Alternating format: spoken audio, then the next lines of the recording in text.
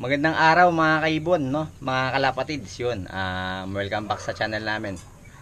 Um, yun, um, nagpapasalamat nga po pala ako sa lahat ng bumati sa akin, no? Sa, ano, sa birthday ko, yun. Sa lahat ng nag-greet po sa akin, maraming salamat po sa inyong lahat, yun. Tapos, um, may topic tayo ngayong araw na to. May nagtanong sa atin sa, ano, sa YouTube natin, no? May nag-comment. Mamaya sabihin ko yung, ano, yung tanong niya. Pero bago yun, no, may, good, may good news muna tayo. Papakita ko sa inyo. Tara.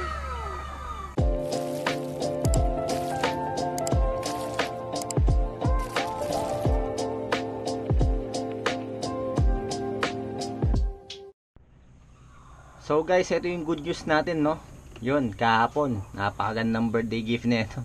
Nangitlog na yung back-to-back opa split ino natin, no? Um, kahapon ng itlog yung Opa Lutino project natin. Um, naglabas na to ng ano, ng visual Opa Lutino, no? Sana all. Sable. Laging sable yung nilalabas nila eh.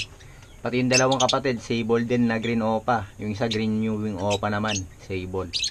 Um, yun naman na gift bird natin kay ano, kay Sir Melchor. Advenicula yun. Shoutout kay Sir Melchor, no? Tapos, etong Opa Pale Follow project natin, no? Green back to back green ano natin yung green pale follow split opa tsaka green opa pale follow natin na hen. Nang itlog din kahapon nung sinilip natin. Yun napakagandang ano balita. Yun. Yun lang guys yung good news natin ngayon. So guys yun na nga no? May nagtanong sa atin sa ano sa youtube natin sa youtube channel natin. May nag-comment. Um, di ko maintindihan yung pangalan niya eh. Pang arabic yata ito. Ah, ang tanong niya, boss, tanong ko lang po, bakit po kaya yung pangatlong itlog after 6 days na po bago lumabas? Nor- normal lang po ba yon? Baguhan lang po kasi ako sa pag-aalaga ng lovebirds. Sana po masagot nyo tanong ko. Thanks po. Yun. Kay sir, no? Napakagandang tanong nito kay sir. Ah, pag-usapan natin yan, no? Um, nandito, nandito na rin tayo sa topic natin sa pagbibreed ng ano ng mga ah, African lovebirds. So, sasagutin natin yung tanong ni ano ni Sir yun. Hindi ko alam pangalan niya. Arabic kasi. eh. Um, pangatlong itlog. Bakit ano pang-anim na siya, ano, pang 6 days na siya napipisa. Um, ano kasi yan, sir? Um, hindi po kasi sabay-sabay lumalabas yung itlog ng ano natin, ng, ng mga alaga nating African lovebirds, no? Um, lumalabas yan. For example, um, papakita ko po sa inyo, no? For example, etong ibon natin dito, nang itlog sila kapon, 619. Um, alternate po yan, no? Um, maglalabas yan ulit ng itlog kung hindi bukas sa isang araw ganyan. May pagitan po yung paglabas ng itlog nila. Um, po sila araw-araw nangingitlog. Yun. Yun po yung sagot dun sa tanong niyo, sir. Um, kaya po pag napisa po yung ah, mga itlog ng mga alaga nyong African lovebirds, yun, hindi rin po sila sabay-sabay mapipisa. Ah, may pagitan rin po ng araw. Hindi katulad sa manok, no? Pag napisa yung isa, ma- maya-maya lang may mga mapipisa na ulit. O kaya kinabukasan, pisa na.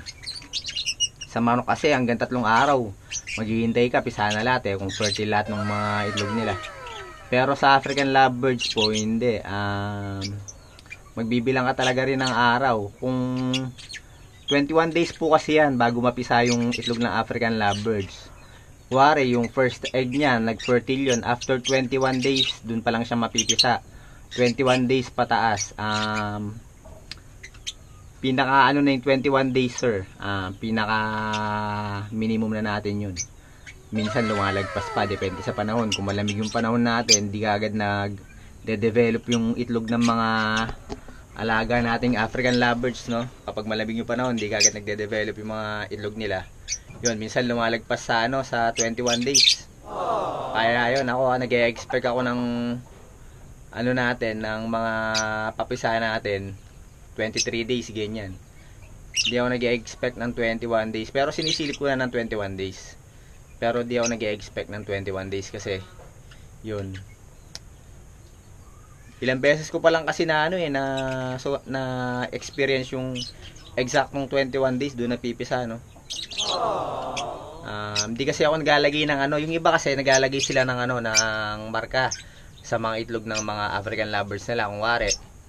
Um, yung unang itlog, nilalagyan nila ng number yon number 1, ganyan. Para alam nila kung ano yung unang mapipisa. Tapos, syempre, depende rin kung ano, kung magpo-fertile yung mga itlog ng mga alaga nating lovebirds, yun. Ah, isa rin dahil lang po yun, no. For example, di nag-fertile yung una, um, yung pangalawa nag-fertile, syempre hindi ka mag hindi ka agad mapipisa ng 21 days yun. Ganon. So yung sa tanong ni Sir sana nasagot natin no na bakit pang-anim na araw pa na lumalabas yung ano itlog ng ano yung mapipisa yung itlog ng African lovebirds na pangatlo. So yun, di po kasi sabay-sabay sila nangingitlog, di po sabay-sabay na lumalabas yung itlog nila.